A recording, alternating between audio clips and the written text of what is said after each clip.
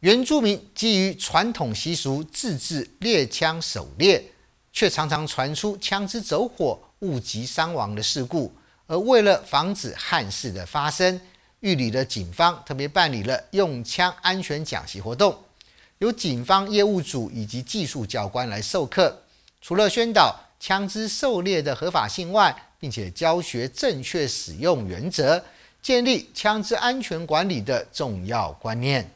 原住民基于传统习俗自制猎枪狩猎，却时常传出枪支走火、误及伤亡的事故。为了防止憾事发生，玉里分局办理了用枪安全的讲习，由玉里分局的保安组来授课。除了宣导枪支狩猎的合法性之外，并教学正确使用原则，建立枪支安全管理的重要观念。事实上腺素激发起来就很很兴奋了，就马上要打他。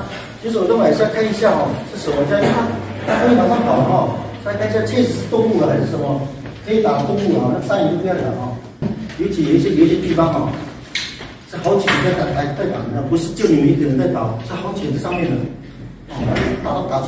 自制猎枪走火误及伤亡的案件时有耳闻。去年八月，花莲卓溪乡一名布农族男子上山打猎，疑似骑机车时把猎枪放在机车脚踏板，枪管朝上，不慎走火，一枪毙命。上个月，光复乡一名阿美族男子被自制猎枪击中胸口，差点性命不保。这个枪，来这个那个那个。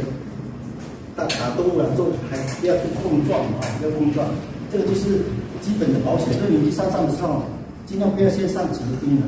玉立分局表示，为了避免家中未成年取得猎枪发生意外或遭歹徒窃贼窃取变成犯罪工具，呼吁所有合法持有人将自制猎枪妥善的储存在铁柜内，枪弹分开集中保管。铁柜需要牢固兼具防盗、防火以及通风的设备。狩猎时互相提醒用枪的安全原则，防止意外发生事，防止意外事故发生。